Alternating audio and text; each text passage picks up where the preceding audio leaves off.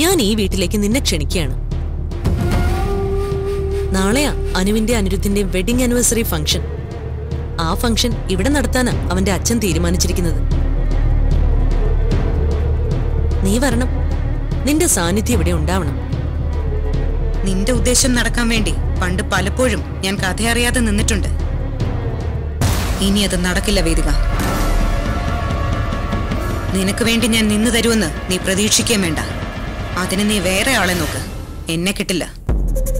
നാളെ ഫംഗ്ഷൻ കൂടാൻ നീ ഇവിടെ വരുന്നതാ നല്ലത്. അല്ലെങ്കിൽ നീ നാളെ അവിടെ തനിച്ചാവും. ബാക്കി എല്ലാവരും നാളെ ഇവിടെ ഉണ്ടാവും. തനിച്ചാവാൻ പോകുന്നത് ആരാണെന്ന് വിളിച്ചു പറയാൻ ഞാൻ ആഗ്രഹിക്കുന്നില്ല. നിനക്കത് സ്വയം മനസ്സിലായിക്കോളും. അനിരുദ്ധന്റെ വിവാഹ വാർഷികം ഇവിടെ നടത്താൻ തീരുമാനിച്ചിട്ടുണ്ടെങ്കിൽ അതിവിടെ തന്നെ നടക്കും.